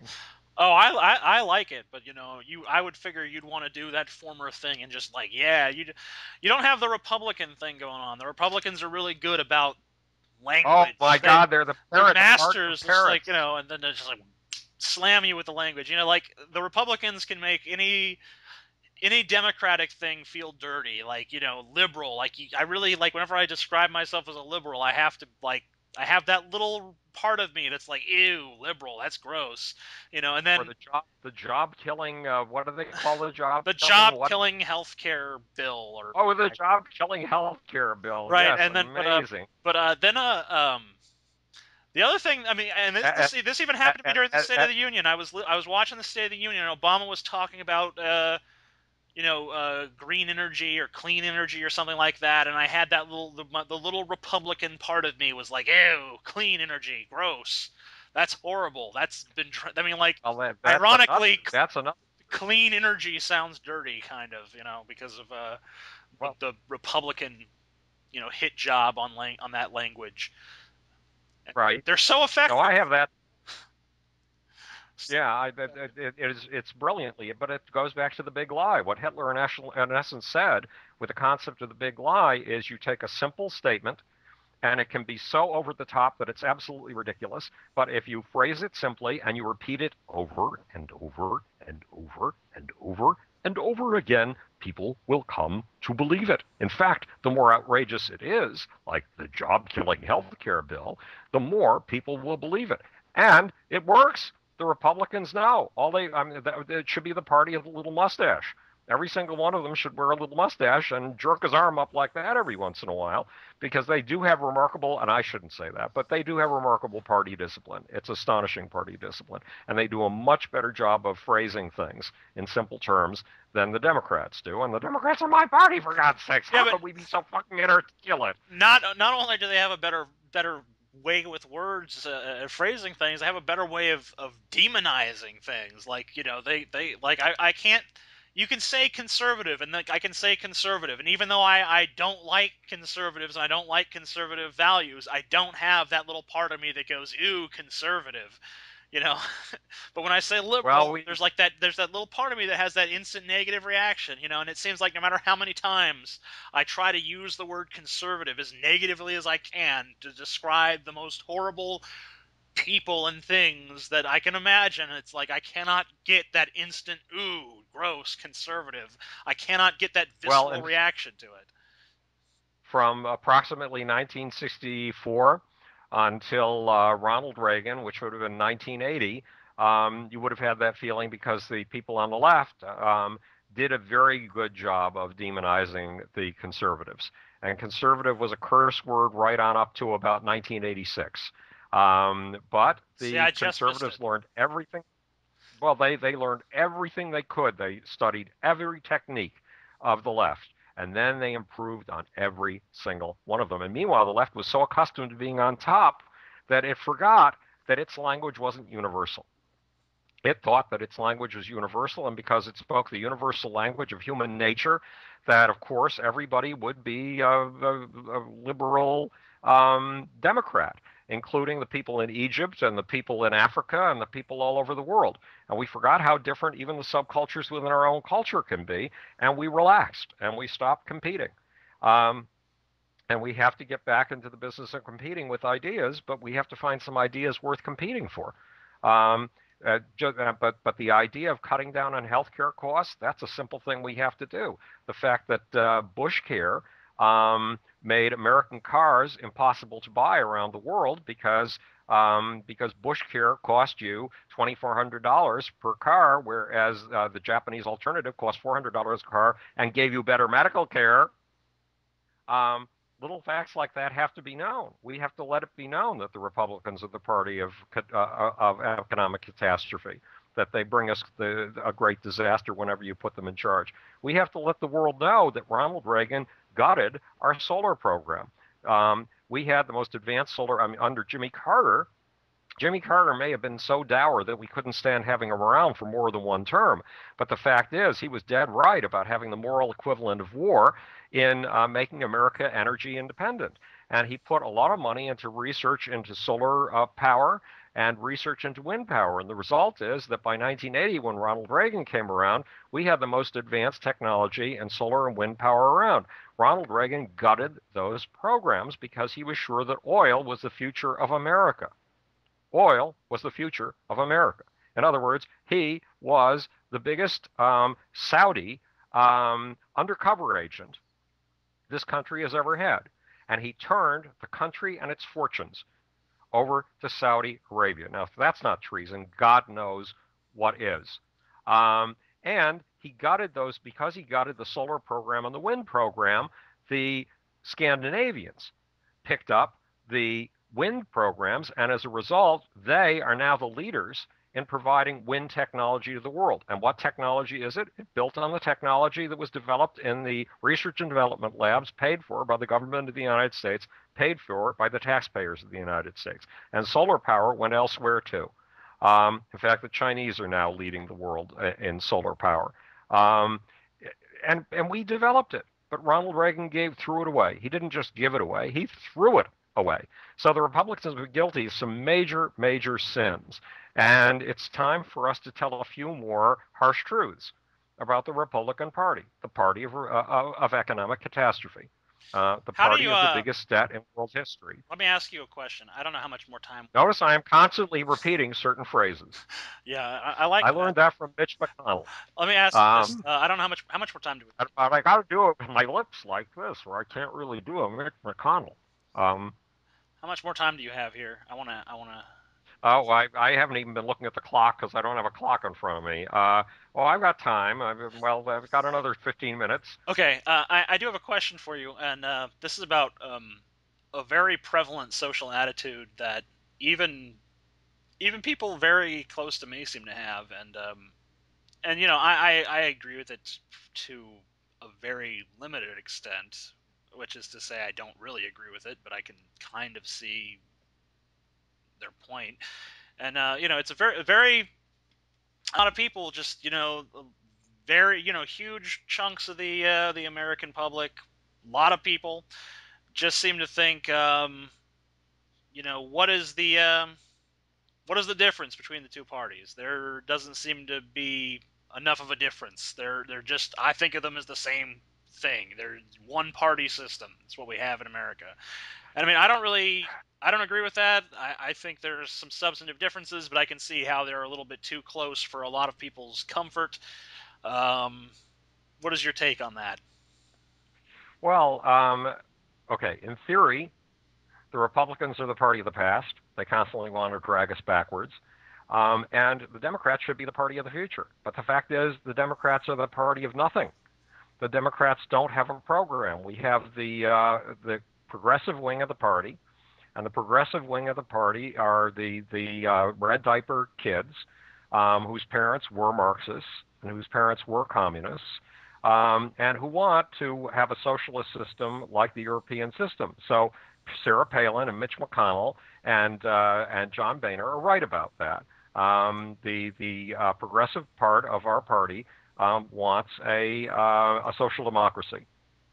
Um, now, and unfortunately, it doesn't even have a well characterized sense of what a social democracy is. There is a simple fact that it's ignoring.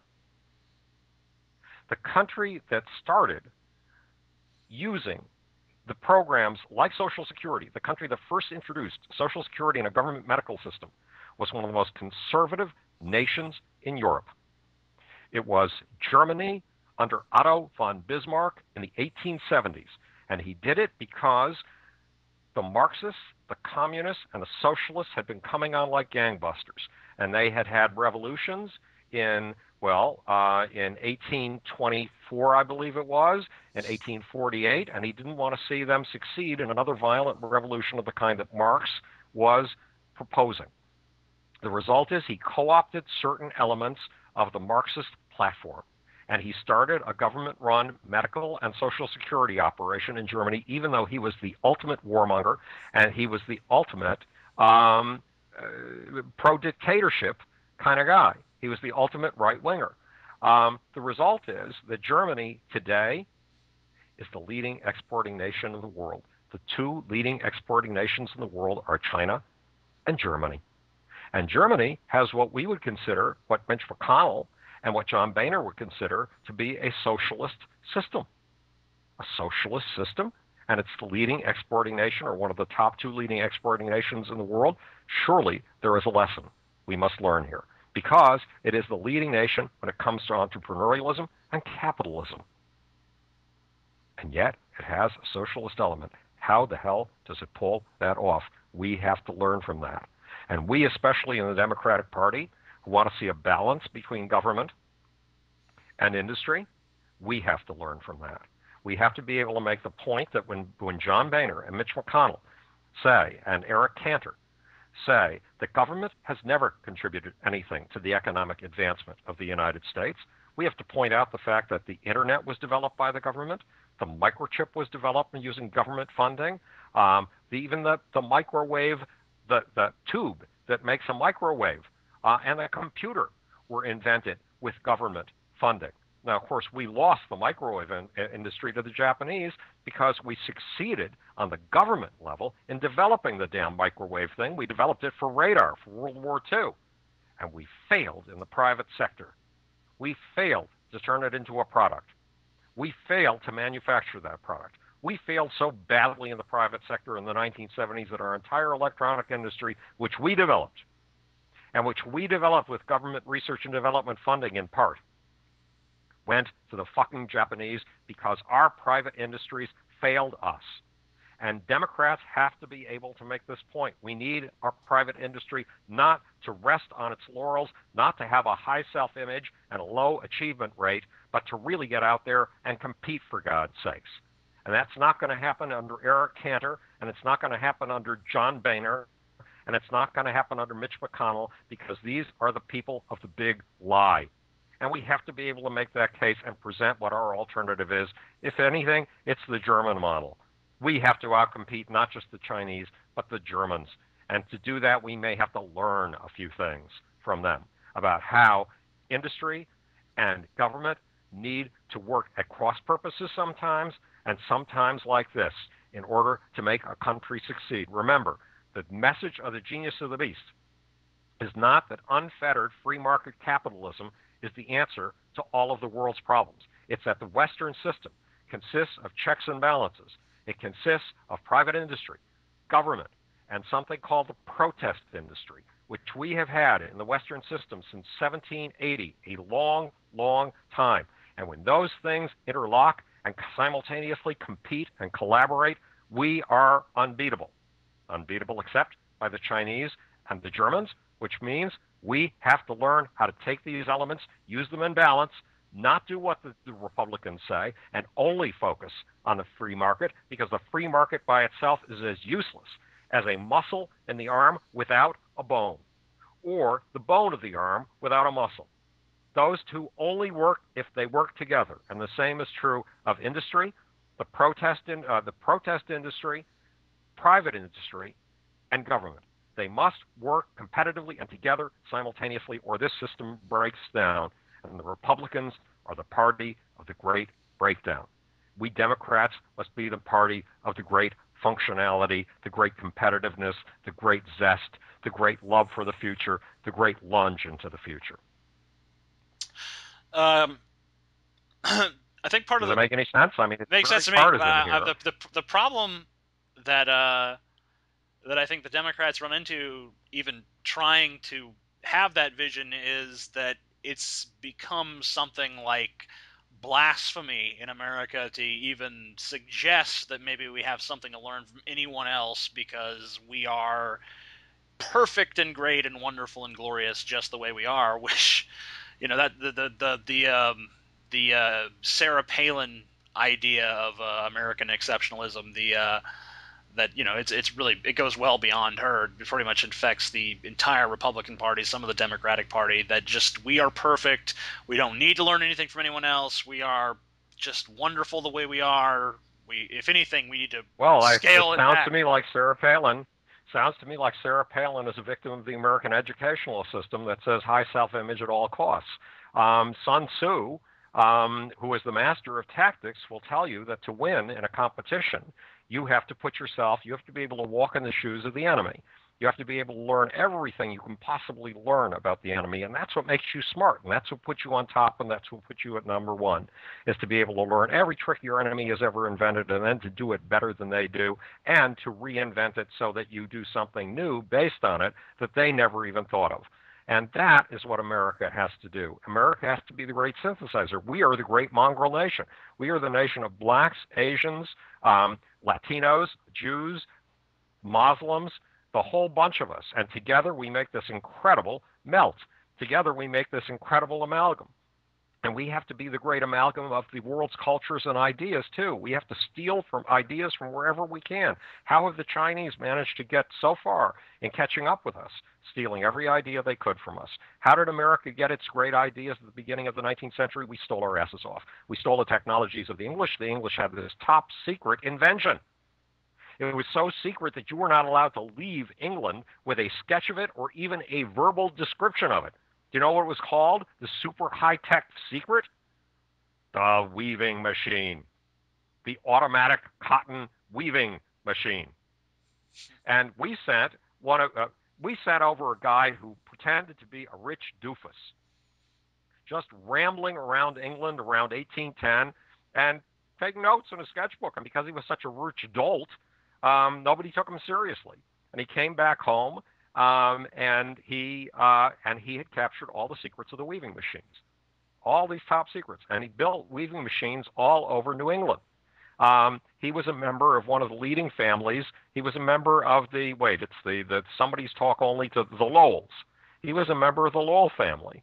You know, the Lowells talk only to the, the Cabots, and the Cabots talk only to God. Well, he was from the Lowell family. What, what was the economy of Lowell, Massachusetts based on? Cotton mills, cotton weaving machines. Cotton weaving machines formed the industrial base of the United States of America in the early 19th century. Guess who we stole the technology from? The English. Do you know why Charles Dickens refused when he was offered millions of dollars to come to America to perform? To, to he did readings of his novels. And he was the most brilliant actor you've ever seen in your life. When he acted out the parts from those novels, they were insanely good. And we Americans wanted to see it. So we wanted him over here. And he refused at first. Do you know why he refused? No. Because he sold tons and tons and tons of books in America. But guess what? They were pirated. Not a penny of royalties was paid on any of them. Sound like any other nation we've ever heard of? China, for example. The great nation of pirates. We were the great pirates of the early 19th century. And to a certain extent, we have to go back to that attitude, knowing that you steal every secret from every competitor you can. Can a football team compete and make it to the Super Bowl without stealing every single tactic from its rivals that it possibly can and then bettering them and then improving them? No. Not at all. I know nothing about football, but I can tell you that with absolute certainty. That's why football teams keep their signals as secret as they possibly can. Because their, their competitors are trying to constantly improve strategy by stealing strategy from each other. Now, is that correct? Because I know nothing about football. That's that's that's pretty much correct with any sport any team sport. Yeah. Okay. Well, if we're so bright about it in sports, we better be even brighter about it when it comes to economics. It seems it like it, you know, it seems like in a in America, and I don't I don't know if um, I mean I obviously haven't been around as long as you have, but it seems like at, at least today there there's this uh, air of um, untouchable you know, like like there, it, it seems like it's almost afforded the same status as religion, uh, nationalism in America. There's uh, this idea oh, that you, you, you know you can't you can't question country. Um, well, you know, at least they're the, the it seems like the Republicans propagate that idea when when uh, one of them is in office, and then afterwards it's okay to question the president, just not the rest of the country. But um, Well, here's here's a, a new phrase. How do we? How do we? How, well, I, my question is, how do we break through that? How do we say, you know, it's okay for us to to question this. It's okay for us to change the way things are done. It's okay for us to keep moving forward when you have but America is America is the nation America is the nation of questioning itself. America is the nation of challenging itself. America is the nation of the protest industry. America is the nation of self-correction. America is the nation of self-criticism. America is the nation where we have freedom of debate. America is the nation where we have freedom of speech. America is the nation where we have freedom to challenge each other and even to challenge ourselves. And we are not using that freedom. And if we are not using that freedom, we are not being Americans. Arrogance is a pleasure you have to earn. I agree with you 100%, but it, it just seems like there's this huge block of Americans now that just they, they view it as sacrilege if you if you dare question certain aspects of our culture or if you uh, or if you even or if you endorse any sort of change whatsoever. It just seems like there you know it's it's becoming increasingly um, Tandem. I mean, like you know, the, the you it, it seems like no. I mean, um, uh, that's obviously part of the reason why uh, you know you and I view us as falling behind the rest of the world because it seems like you know we're not embracing our our uh, our legacy of being the uh, the rogues of uh, of constantly pushing the boundaries. It seems like we've become sort of stagnant. How do we snap out of that? Well, first of all, those who sit on their ass, to use Glenn Beck's kind of phraseology, those who sit on their ass are traitors to the American spirit. Um, those who are smug are traitors to the American spirit. Those who want to sit in place and pat themselves on the back for accomplishing absolutely nothing, those are the people who are going to destroy America. Those are un American people. They are violently un American people. Now, look, we should not be stigmatizing anybody as un American because America has room for all kinds of people and all kinds of opinions. But the fact is, people who drag us down and drag us into the muck and drag us backwards are going to destroy us. And we can't afford to destroy. We can't afford to be destroyed. We can't be de- afford to be destroyed for the sake of those who are industrious, for the sake of those who are never satisfied, for the sake of those who are constantly striving forward, for the sake of those who are constantly lunging toward the future, for the sake of those who are constantly making the future. And we can't afford to be laggards, even for the sake of those who lag, because they will suffer the most if we go down.